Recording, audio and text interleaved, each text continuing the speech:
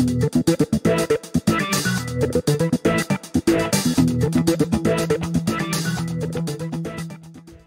everybody, this is the Matt Griffith Show, and you're watching Matthew Griffith Presents with Movies.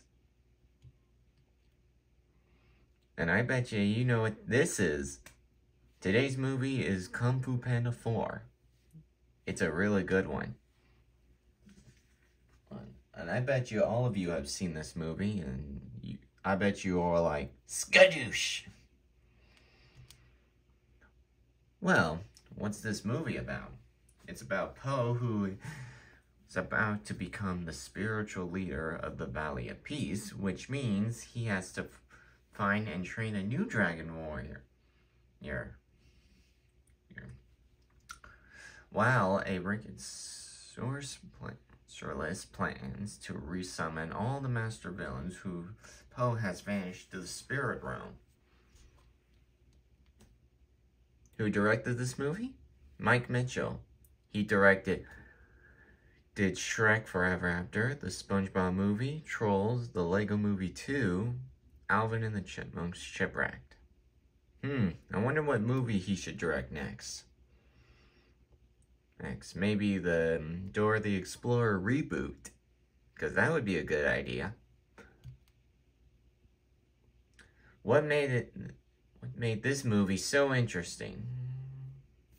Sorry, I really should have edited this. What made this movie so interesting? You know Jack Black is part of the Tenacious D, D, and he and Tenacious D did the um, song cover of Britney Spears' Baby One More Time, which I love to listen to that song over and over. And I love hearing Jack Black voice in Po. Um, will there be a Kung Fu Panda 5? I hope so. Maybe this time, time they'll add the Furious 5 like the other movies. Movies. And maybe Zep might do it.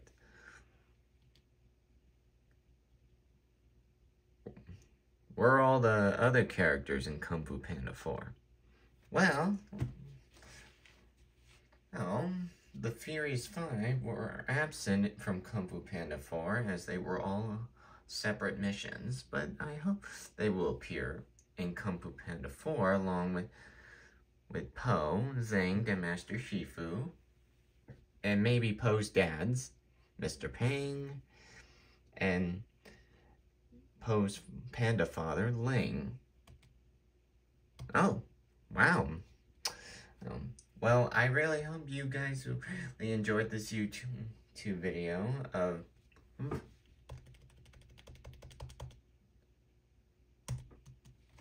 Matthew Griffith Presents Fun with Movies. Now tell me something. Do you all like Kung Fu Panda 4? Mm. 4. You really should watch the movie and make sure you listen to the Tenacious D of Hit Me Baby One More Time. time. It's really good. And so, thank you for watching. I'll see you guys next time.